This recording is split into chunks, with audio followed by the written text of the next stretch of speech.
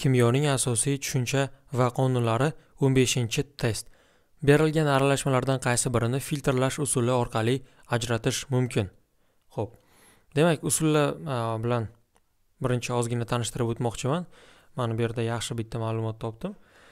Ho'p demak bir necha xil usullarni ko'rsatgan. Birinchisi bu tindirish usuli ya'ni aytaylik bu heterogen sistemalar bo'ladigan bo'lsa Э, beqaror sistemalar va ularni qo'yib qo'ysalar tindirib qo'ysalar ikkiga ajralib qoladi o'zi. Masalan tuproq bilan suv bu yerda ko'rsatilgan va e, ajratish voronkasi bu yerda делительная воронка e, neft bilan suvni bir biridan ajratyapti. Ya'ni bir birida yaxshi aralashmaydigan suyuqliklarni mana shunaqa qilib ajratadi.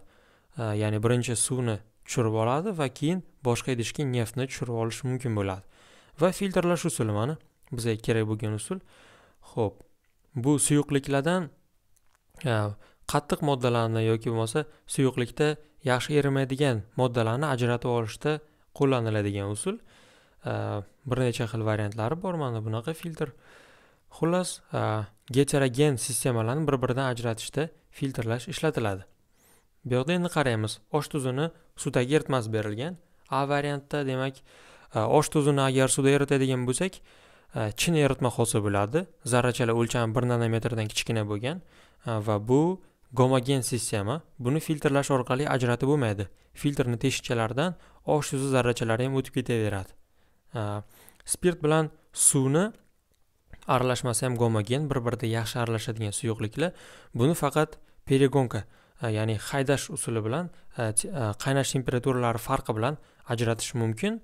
Buni osh tuzi va suvni esa demak suvni bug'latib yuborib osh tuzini qoldirib ajratish mumkin.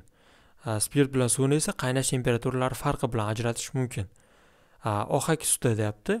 Ya'ni bu kalsiy oksidini suvdagi eritmasi bor. Ohak ya'ni kalsiy gidroksidni hosil qiladi. Suvda eritadigan bo'lsak va bu suvda yaxshi erimaydigan hisoblanadi modda hisoblanadi kalsiy gidroksidi va bir qismi eriydi va bir qismi erimasdan qoladi. Pastda o'sha cho'kma qismi ohak suti deb aytiladi. Va shuni ajratib olish kerak. Va bu erimaydigan moddani filtrdan ajratib olsa bo'ladi.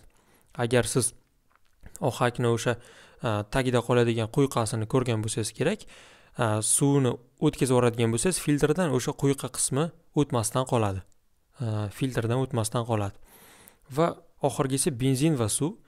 Benzin va suvni o'sha ajratish voronkasida mana bu yerda ko'rsatilgan voronkada ajratib olish mumkin. Bu yerda ham o'sha neftni misolida ko'rsatilgan mana mana bunda e, ajratish mumkin va bu filtrlash emas.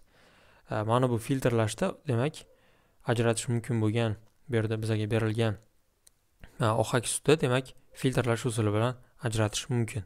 B javob.